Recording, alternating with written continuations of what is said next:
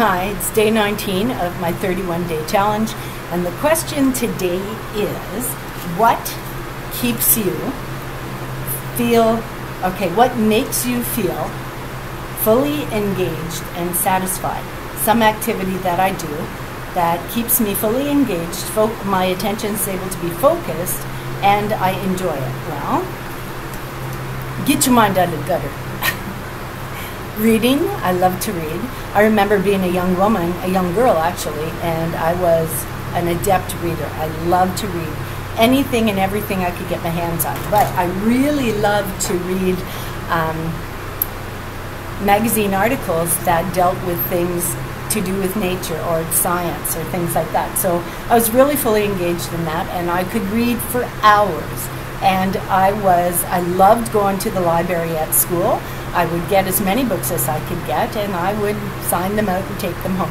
However, there was a series of books when I was a young girl, teenager actually, I think, uh, Girl Guide maybe, or maybe even Brownies, and that was the the set of books, the series called Nancy Drew.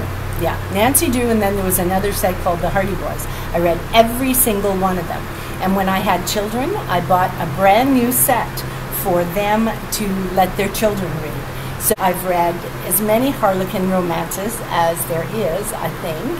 I probably missed a couple because there's been a lot, but Harlequin romance, it kind of, you, you put yourself into the story. And don't forget, I'm a small town girl. I grew up in a small town in an era where um, you you grew up, you got married, you had children, you had a nine to five. Your husband worked really hard. You had a nice little Oldsmobile, you know.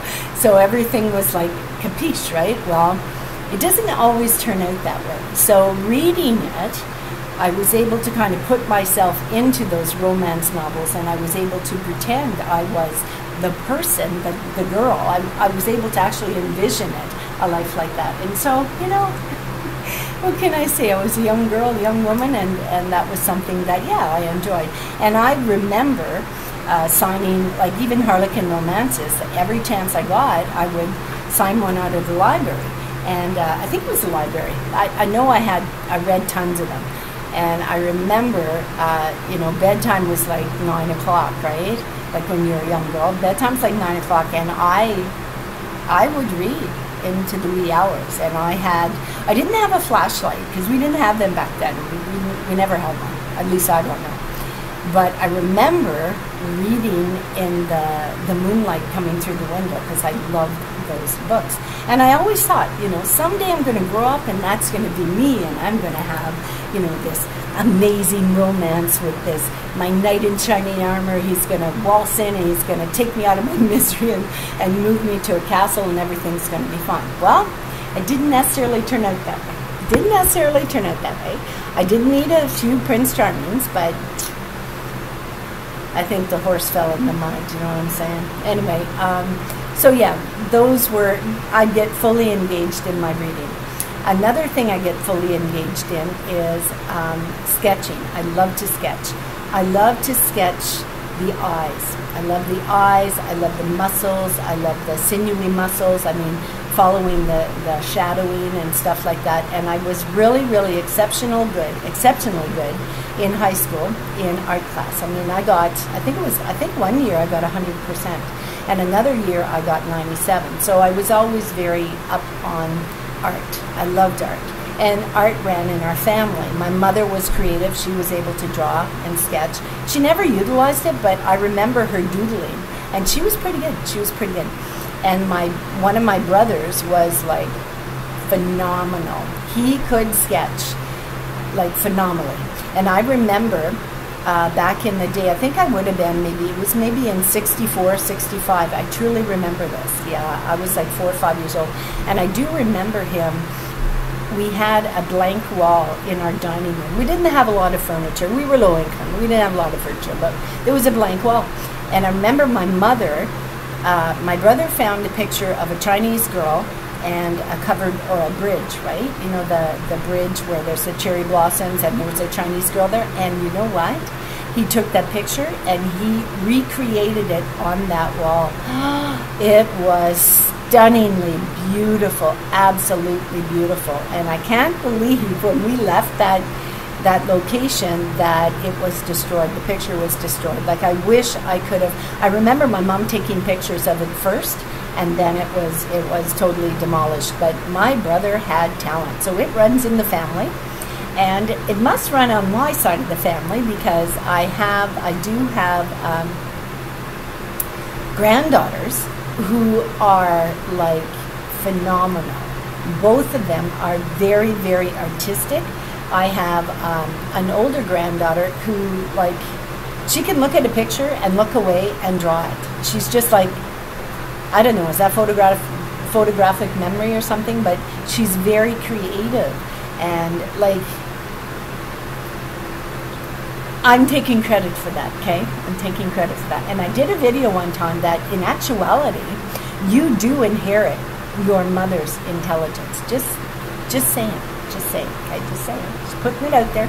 Check it out. Look it up on the internet. But I did research on it, and it's true.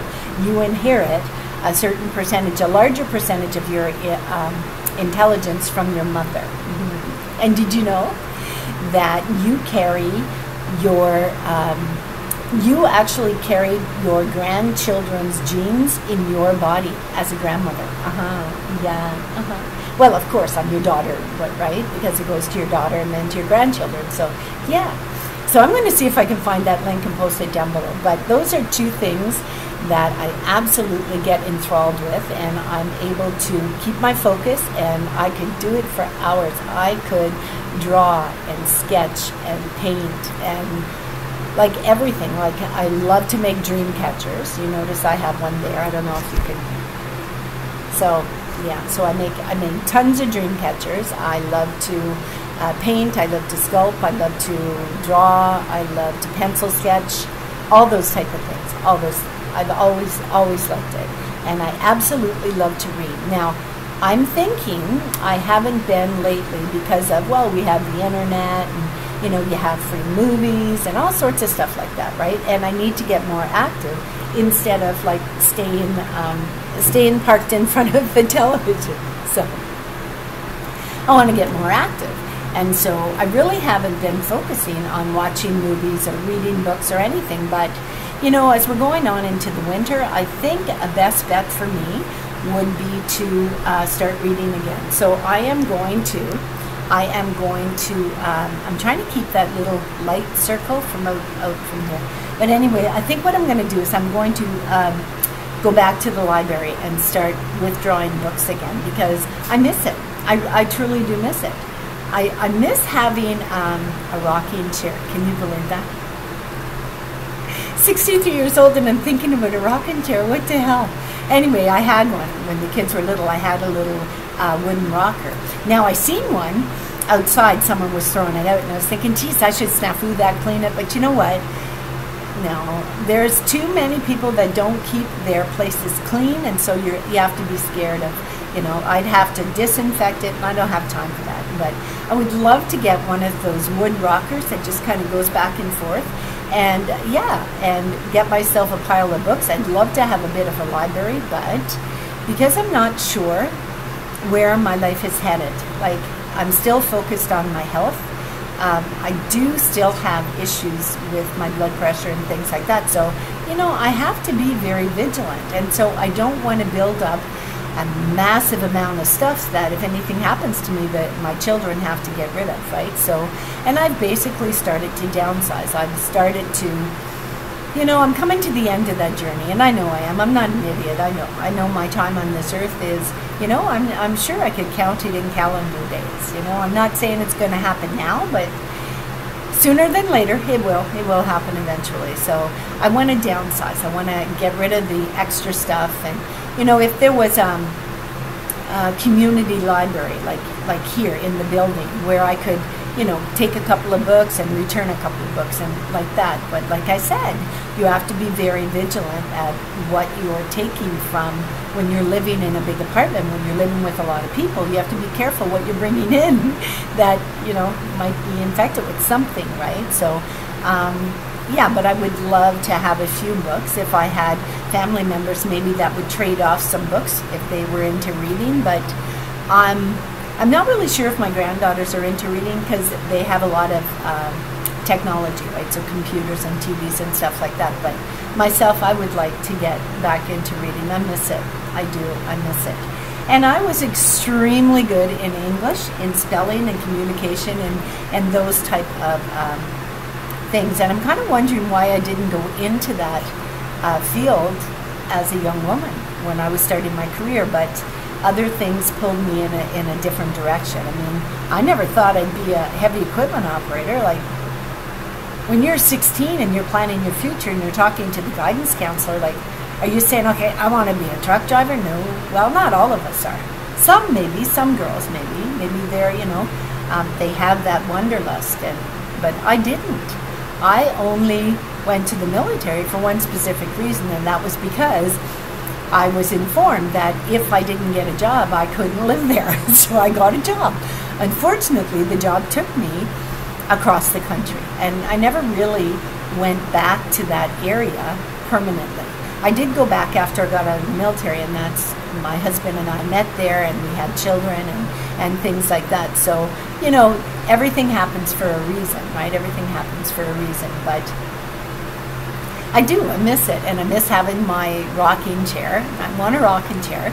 So if I do ever end up going on that front porch in the country where I want to be, under that sky full of stars, I want a damn rocking chair.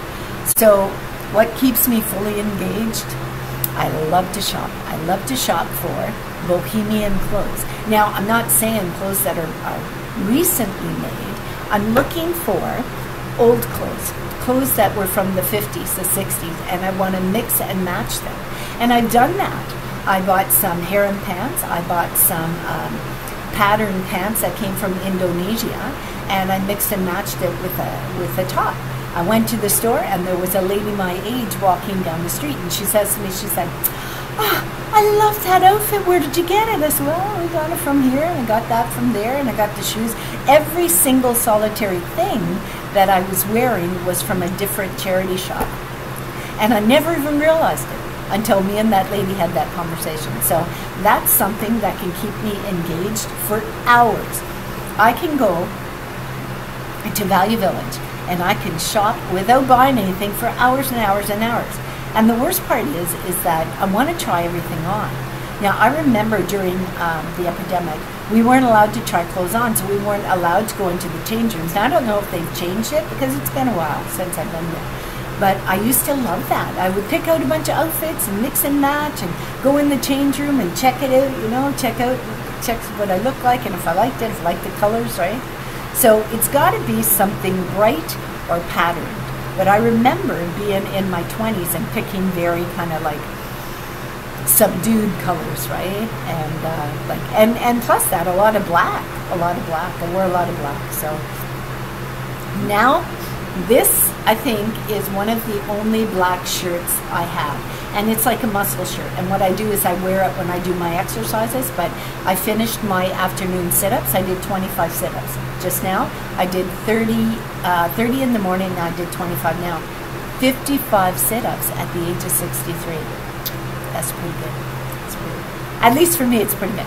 But I am going to try to do a little bit more and some pump some push-ups out. But I do wear this for my exercising. So I don't have a lot of black clothes. I have a lot of colors. I like oranges, I like reds, I like uh, bright blues, I like neon colors. I have a neon orange. Yeah. I have a couple of them. I have a couple of them. And I remember going to, um, oh, it was years ago because I don't eat fast food anymore, but at that time I did. And I was getting a coffee from, I think it's, uh, it's a fast food place, it's Wendy's or McDonald's and there was an elderly fella in there, and I'm elderly now, right? But this was like maybe five, six years ago. No, it was before, so about eight years ago.